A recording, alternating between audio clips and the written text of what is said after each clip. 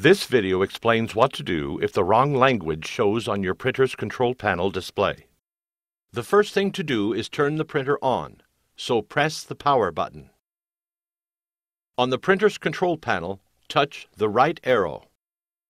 Touch the Setup icon, which looks like a gear and a wrench. Touch the fifth option from the top, which is Preferences. Touch the second option from the top, which is Language. Scroll through the list of languages using the arrow buttons on the right of the display. Touch your desired language, and then touch Yes.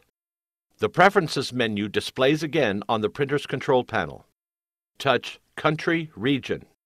Scroll through the list of countries and regions using the arrow buttons on the right side of the display. Touch your desired country region and then touch Yes. Touch the Home icon to return to the main screen. Your printer is now ready for regular use.